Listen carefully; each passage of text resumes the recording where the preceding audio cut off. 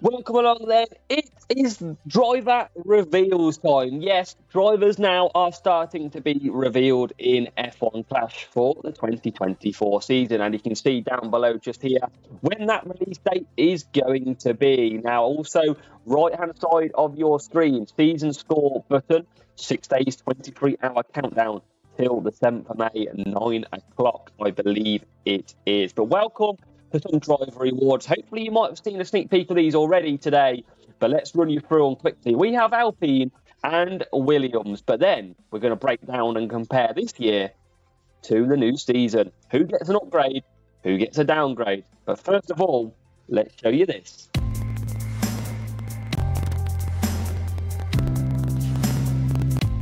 And we'll run through it again. Ocon. There he is there's the livery for Alpine. Yes, the slowest car on the grid. We'll show you one more time and then we'll start to compare first of all. But we'll also show you, we'll show you Williams first, shall we? And then we'll go into it. So we'll show you the livery again that's coming in game this season. And eventually, maybe not, you will never see it. Then let's show you Williams the Williams drivers for the F1 Clash 2024 season. Here they are, Alex Albon. You'll notice some big shots in here. Hopefully you've seen it already. There's the beautiful livery for Williams. Let's tell you one more time before we start comparing. There's Albon, common, rare, and epic. So three cards each driver again. Sargeant is in there too and his epic card as well. There's the livery. So, with that, they are your first driver reveals. It is Alpine, it is Williams this season. And what we're going to do now is take a quick look at the drivers and compare them. But first of all, that's not supposed to be over there. The Williams livery, which is coming this season and in the game, looking very, very tidy and not nice livery. And then we've got the Alpine, liveries, and all that carbon fibre coming to the game as well. So not looking pretty good. So first of all, let's get comparing. First of all, Esteban Ocon Common Series 3. So these are at max levels. Obviously, commons we don't tend to use too much in the end. So let's go and take a look. Last season, he was Series 3. And he had, and let's select him so we can see this clearly, shall we? So he is down on overtaking. He is defending as 50, so he's gone up on defending in this season. Qualifying is a lot lower stat on the qualifying for the common. That's interesting. Race start is a lot lower on the common, and the tyre management is a lot lower. So that common is a lot worse of a card than once was.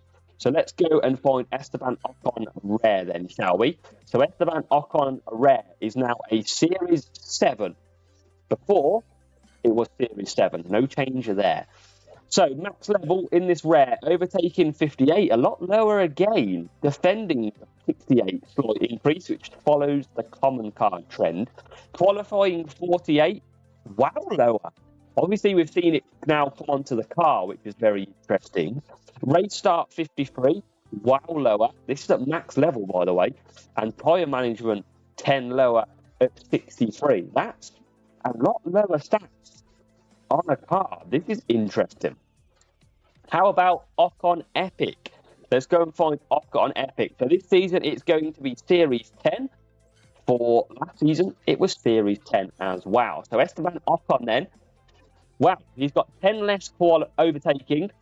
He's got around 11 more defending, so increase again, exactly the same. His qualifying is only 70, whereas in the game this season it was up at 91.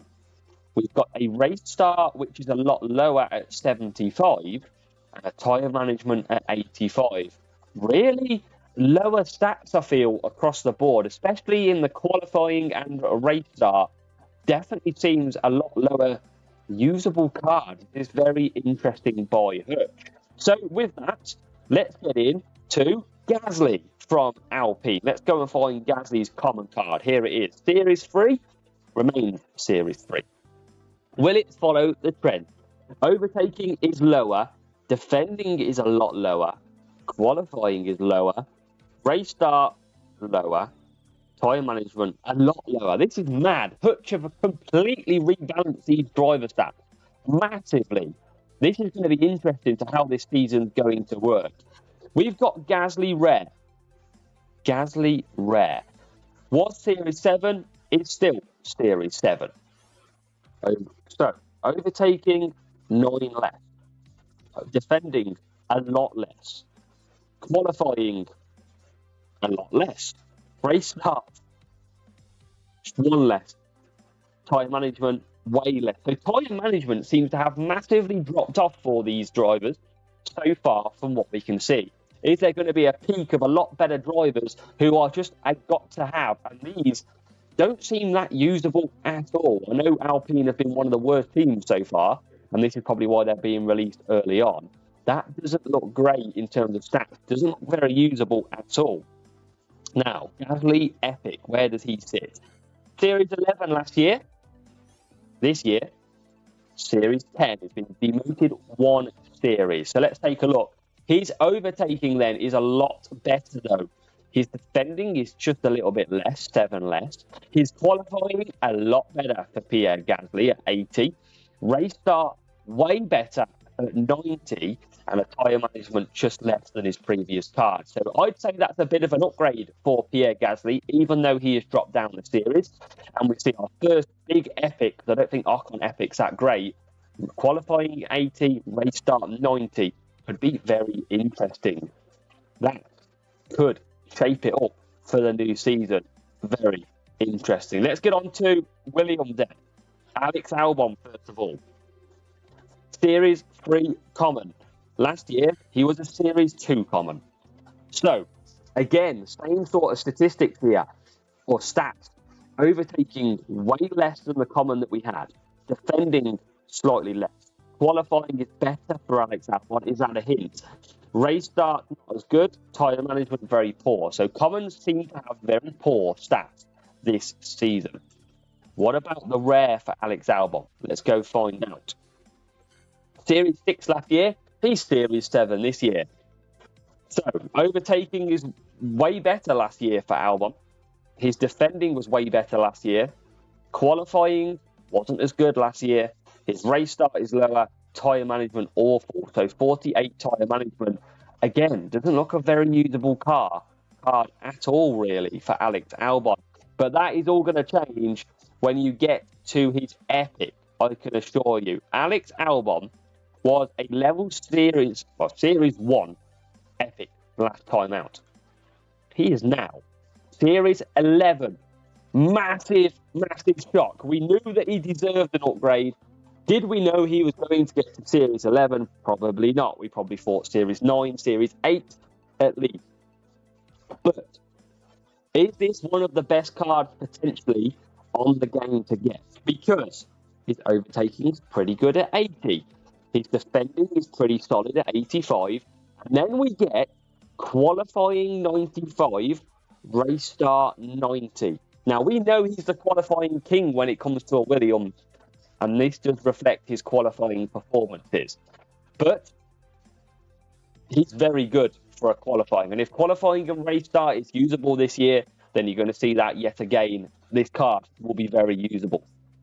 Tyre management, not so great. We haven't seen any strong tyre management so far, which could be very interesting to say the least. Last year's Series 1 Epic Albon goes up to Series 11 with some poor, poor stats from last year. So let's run you through them quickly again. We have Alpine. First of all, Gasly. All three variations. Common. There you go. Series 10. Ocon's in there as well. Series 10 too. Tyre management's good for Ocon, actually, to be fair. Williams. We've been through this one. Albon. Really epic is big. Qualifying 95, race start 90. Loads of Sargeant doesn't look use the ball either. I don't think we've been through Sargeant, have we? Oh no, we think we have. No, I don't think we have. Let's go back through Logan. We, we've missed one. We've missed. What are we doing, folks? What are we doing? Logan Sargeant, the GOAT. Let's get him on.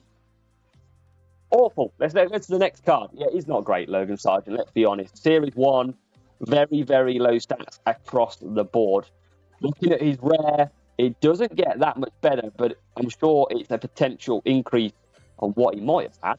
Let's have a look. Nope, he gets worse, and that's a lot of the stats that are the same. Overtaking, defending, race start, all low, a lot lower. And then the Epic this year, because Logan Epic was pretty poor last year, is still a Series 2. Doesn't really change. 51s, 52s, 57s last year. It's not as good. Not even worth going through. It's poor Logan. But that is your driver reveals for today. Alpine and Williams, both for F1 Clash 2024.